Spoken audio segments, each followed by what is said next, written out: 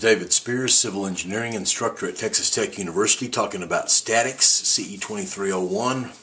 We're in chapter 9, talking about friction, as the book calls it, Coulomb friction, for the French guy in 1785 who kind of brought all these thoughts together. Friction is a force that resists relative sliding motion. It's what keeps things from sliding relative to each other. It's caused by surface roughness.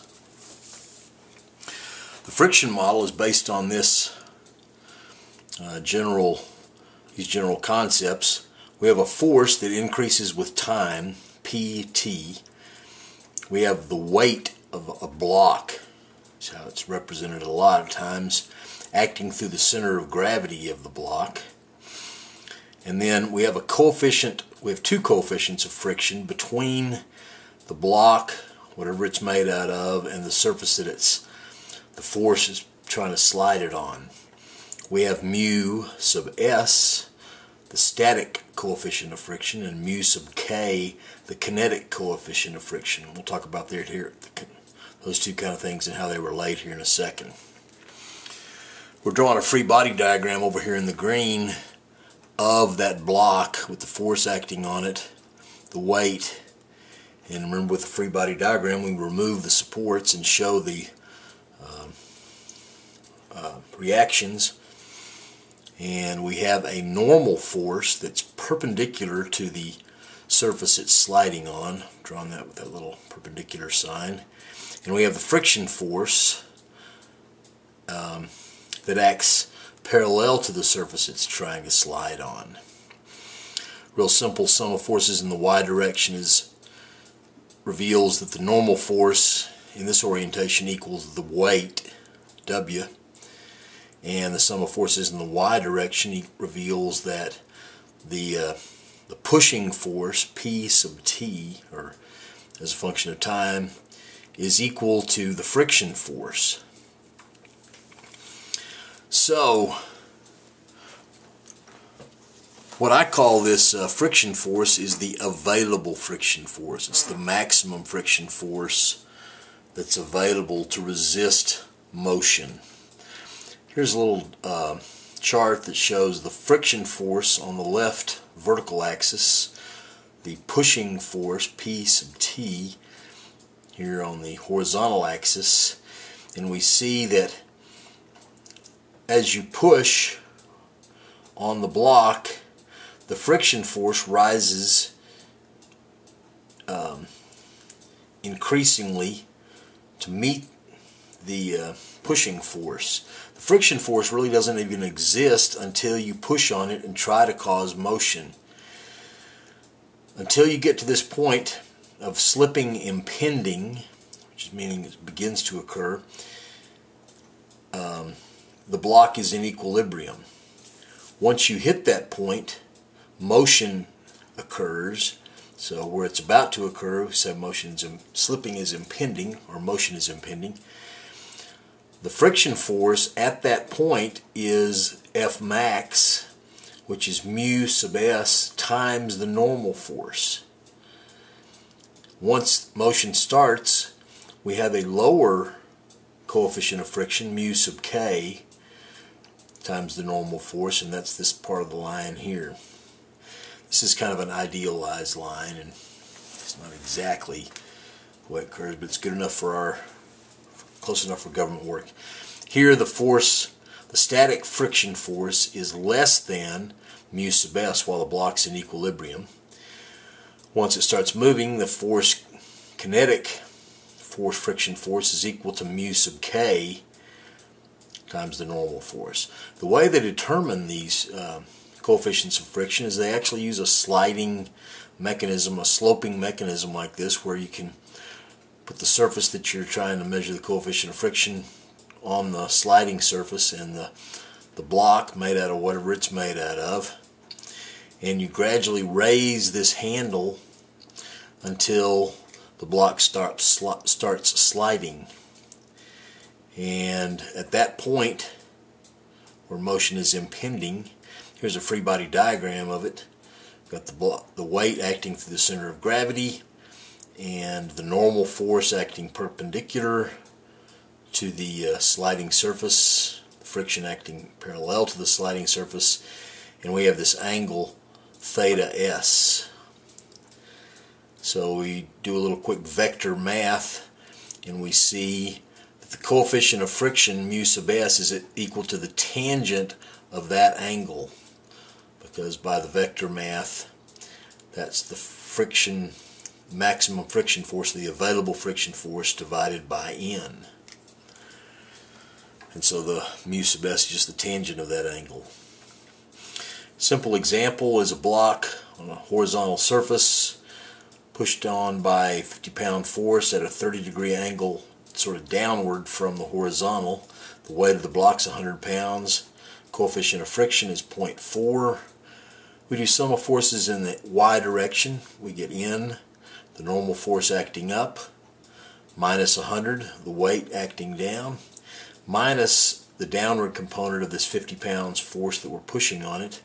So it's the opposite of the 30 degrees, so it's 50 times the sine of 30 degrees, which is sine of 30 is 0.5, so it's 25 pounds. Just do the math. The normal force is equal to 125 pounds. So I have a maximum friction force or an available friction force of mu times n. That's 0.4 times 125 pounds, 50 pounds. It's my maximum friction force available. Now if I do sum of forces in the x direction,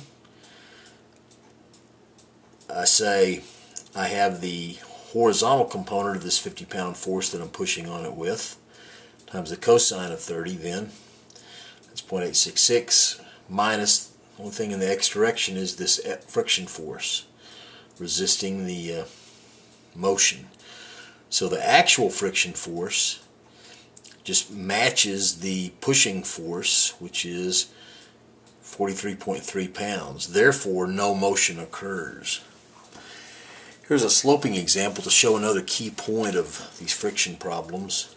It's example 9.2 from the book. I have a 20 degree sloping surface, coefficient of friction of 0.3. The weight of the block is 392 newtons and I want to find out some things about this pushing force P which is horizontal. I do a little free body diagram which of course is the key to the highway and I've got key thing with a lot of these friction problems is to rotate your axes so that they are parallel and perpendicular to the sloping surface. That makes the math a lot easier to to write out and these sum of forces equations a lot easier to visualize.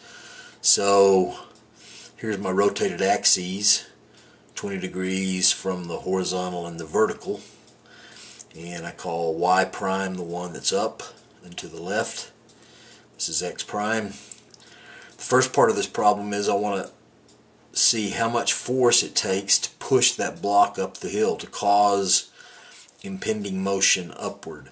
Therefore, my friction force acts opposite to the direction of the motion, which is, is downward, down and to the left. My normal force, of course, is perpendicular to the sliding surface. I first do a sum of forces in the rotated y prime direction. That's equal to n, my normal force, positive up, minus the uh, rotated axis, the component of that in the y prime direction, which is the adjacent part of this 20 degree angle times 392, so it's a cosine of 20 times 392, minus the, uh, I have a little bit of an upward, I have a little bit of a downward component relative to in the y direction of the sine of this 20 degree angle times my unknown force P. I combine all my terms, do the math, and I get that N is equal to 368.4 plus 0.342P. I multiply that expression by my coefficient of friction 0.3 and I get that my maximum available force F max is equal to 110.5 plus 0.1026 P. Now I do a sum of forces in the x direction equal to 0. I have the cosine part of this pushing force P so it's cosine of 20 times p minus the weight component downward down the slope in the x prime direction. So it's the sine of 20 degrees times 392 minus my friction force. It's going down the hill. I can now substitute that value 110.5 plus 0.1026 p in that I just solved for in the sum of forces in the y prime direction into this equation for F. And I can do all the math multiply those by the cosines and the sines and substitute that in there for F and I get 0.8374 P is minus 244.6 is equal to 0 so P is equal to this expression which is 292 newtons that's the force at which it's going to if you push one little bit harder, it's going to start to push that block up the hill for motion to impend up. Now I want to see, does it take a force, how much force does it take to keep the block from sliding down the hill on its own?